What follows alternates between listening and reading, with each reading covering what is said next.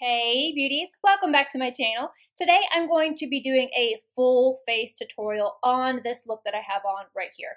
This is a very similar look to the one that I was wearing in my Rephr brushes video and you guys kept asking for it. Now I'm using slightly different products, but this is like my go-to soft glam type of look. In the last video, I was wearing lashes, so if you wanted to up this a little bit and make it just a little bit more va-va-voom, you could add a pair of lashes and it would just bring the look up just a little bit. I have a bunch of errands and things that I need to do today, so I thought this was the perfect time for me to show you guys this look. So if you're interested in how I created it, just keep watching. As you can see, I already have my brows done and I also primed my eyes. I used the Anastasia new primer to do that. They're not set in any way, so it's still just like a little tacky base. And then I have my pores primed as well. And I will leave that information down below. But now I'm going to go in with my foundation and I'm going to use the La Mer Soft Fluid. And the color I'm using is number 12 Natural. I'm going to apply this with my Sonia Kashuk sponge.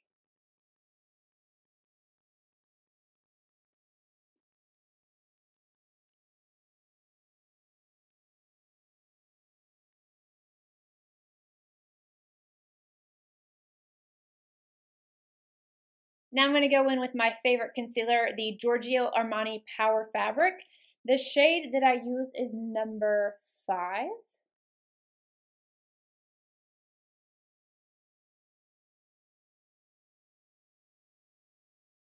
Huda Beauty Pound Cake. I am going to use this to bake.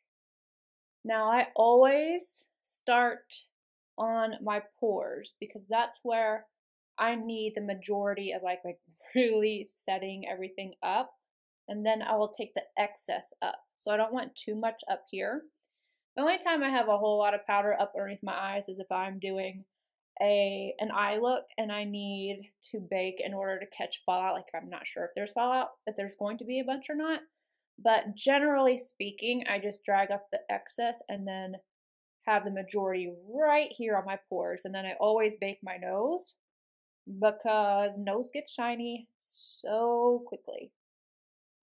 And then lastly, the chin.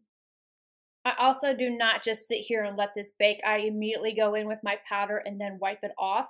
So I'm going to be using my La Prairie. I cannot put this down. I have the, so it goes 0, 1, 2. So I have shade 1. I think I said that I had shade 2, but they start off with 0. So I have shade 1, translucent 1. And I'm putting this on with my Wayne Goss 00 brush.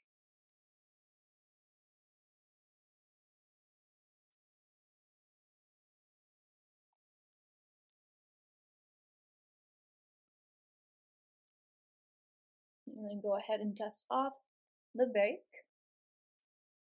I'm going to take my Rephr brush. I don't remember the number, but this is, mine says P09A. I think I'm going to have to put like the new actual numbers on like the bottom or something and put like clear nail polish over it so I can remember. Tatcha Gold Spun Camellia Lip Balm. I always put this on while I'm doing my makeup so that I can prep my lips. For bronzer, today I'm going to go in with my Jouer one, and I have light to medium duo with Sunlight and Suntan. I mix the two, and yes, I just hit pan again. I've already gone through one of these, and I just hit pan, I think like two days ago or something. And this is a Royal Langnickel BOM 36. So I literally just do this, then go down here. I always hit pan on the lighter shade first because I think it's a little softer in formula than the other shade.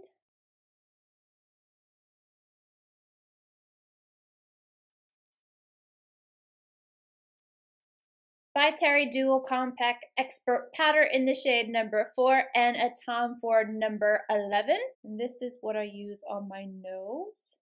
I always bring it into the eye socket right here.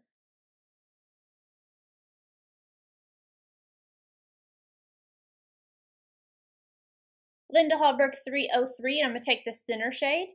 I'm gonna have to replace this soon. I mean, yeah, we're we're looking a little a little empty. And I use this to highlight the bridge and tip of my nose, and then I kind of like to dust away the excess with my finger.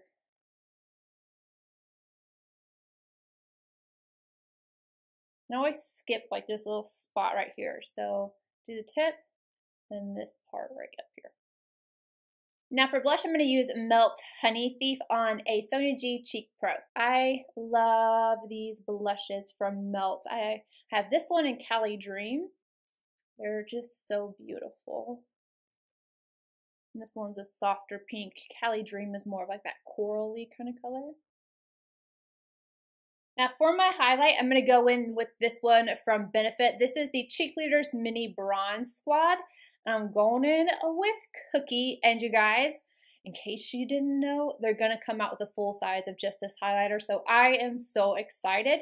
And I'm going to be using a Stilazzi Prime L302 to apply it.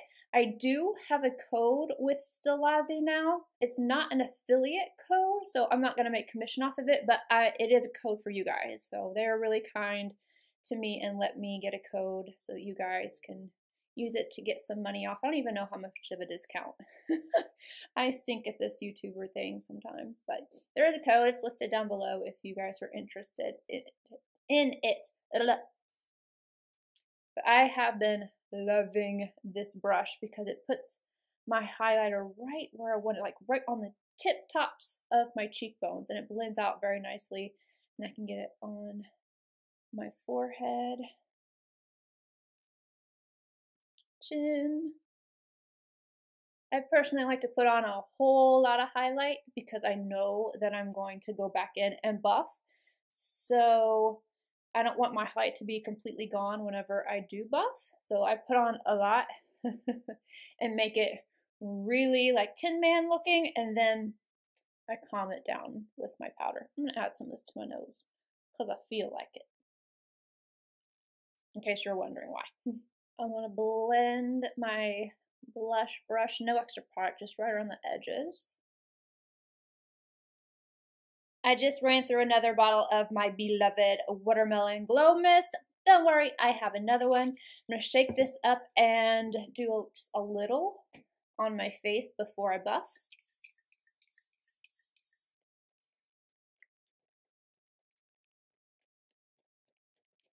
Now I am going to buff. I'm using my Sisley powder and my Sonia G Sculpt 2.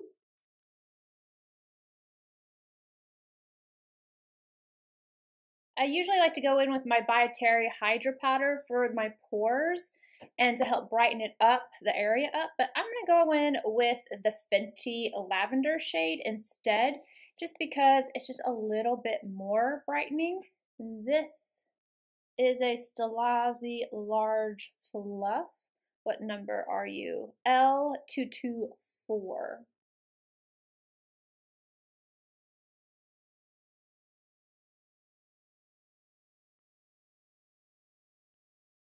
Okay, now for the eyes. You guys, every time I wear this palette, you guys notice, and everyone's like, I want a tutorial, and then I feel bad for even wearing it because it is the Aspyn Ovard palette. Every single time I'm wearing like a soft look, and you guys want it, it's like, it's this. And I cannot dupe these.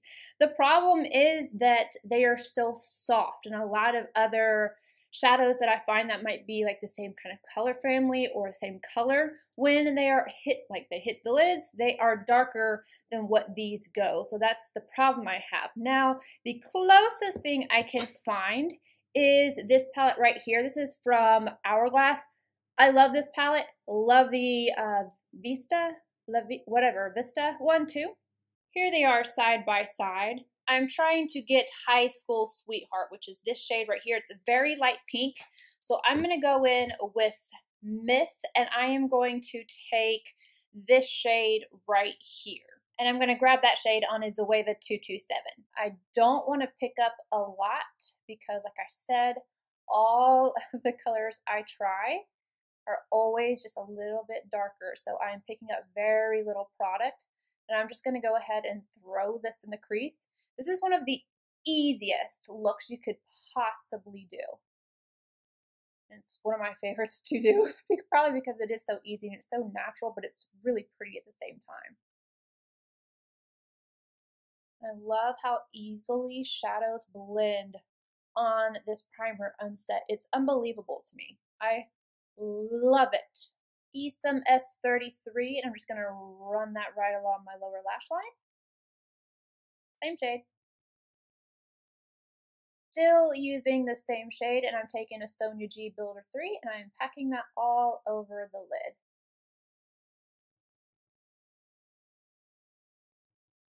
MAC 252 and the lightest shade in the palette. I am going to run this at the brow arch and then just dust the excess around the edge.